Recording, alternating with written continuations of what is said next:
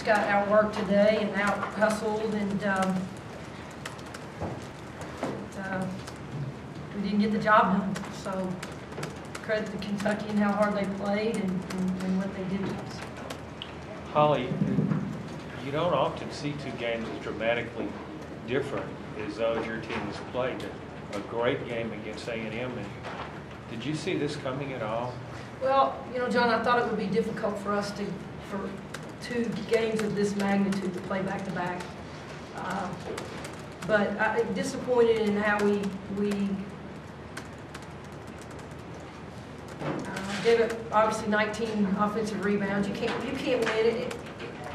You gotta, you gotta take care of the ball, and uh, you gotta bring your defense. We didn't bring our defense, so you gotta, you gotta bring your defense and you gotta rebound, and we didn't do those two things. So, uh, yeah, it was a totally different game, but we, we just didn't, we didn't have it, we didn't get it done today. Holly, what did, what did you say?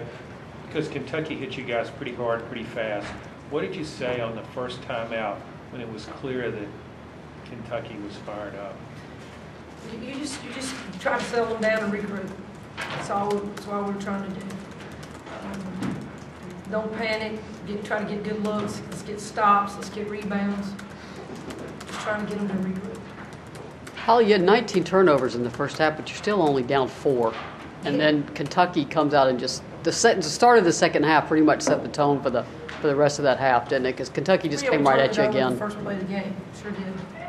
Sure did set the tone. Can you update us on Izzy? We obviously Ariel's back and okay with her knee. What's the status of Izzy Harrison right now? I, I think Izzy is, uh, it's- it's uh, week by week, and uh, it's just, it's what we've been dealing with. I thought Kamiko's injury was, was tough for us.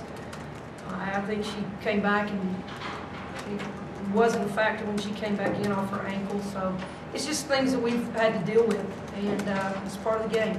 It's part of the game, and you've got to, people have to step up, and we didn't step up today. Will Izzy be available for the SEC tournament, or, or do you know Not yet? sure. Not sure. Holly, would you uh, be kind enough to comment on Audie and what she's been through the program and how great Oh, she's she's, she's, uh, she's fantastic. I think she's a classic act kid, uh, plays hard, um, is, is just a, is just a great kid. I don't personally know Audie, but just watching her and, um, watching how hard she plays, uh, she's, she's just, she's an incredible athlete, an incredible basketball player. Holly, you, you talked about telling your kids not to panic. Do you feel like that's what they were doing against the, against I don't- Kentucky's pressure? Well, I, you know what, Dan, I thought we played, they made us play too, well, they made us play fast. And I, uh, if you want to interpret it as panicking, but they made us play fast and we should quick shot the basketball. And when you quick shoot the basketball, it's great when it goes in, but it wasn't going in. So, um, try to, try to settle it, because I, I thought at times we got good looks, but they're not good looks if they don't go in. Would you prefer to slow a tempo? Is that what you're saying?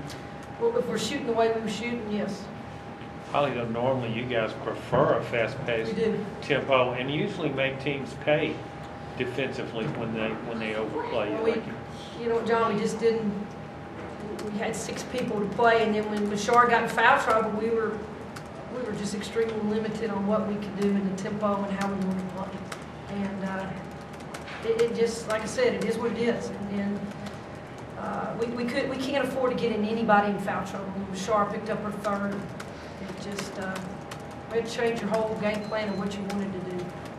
Coach, looking at this crowd, this is uh, the great rival, the senior day. You brought a lot of fans here. Uh, How did that affect the game in any way, do you think?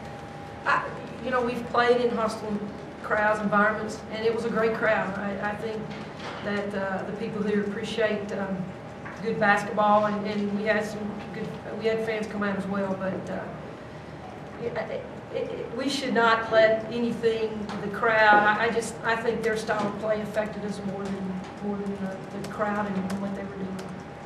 I hope that was the case anyway. Holly, did, did you feel like seeding was, did you even think about the seeding for the NCAA tournament for this matchup? Well, I thought it was, I, I, I thought, yeah, I, I think, I think it'll play into effect, yes. And I, and I also think it'll come into effect on, on how you do the SEC tournament, so, yeah, I did. With the injuries that you guys have, you don't play again until Friday. How much do you appreciate having that kind of time so you get healed?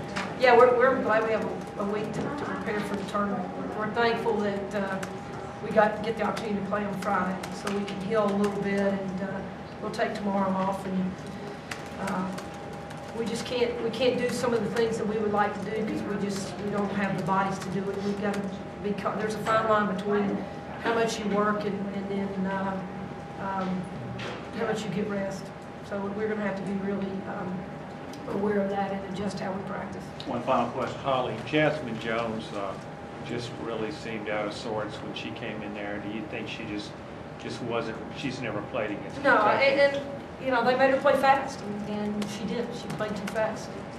Uh, I thought she, she at times got, uh, rebounds, and was playing hard, but it just, it wasn't effective when, you know, turning the ball over and, and, uh, not finishing your shots and those type of things. So she'll learn, we'll learn, she'll learn from it. Thank you. All right, thank you.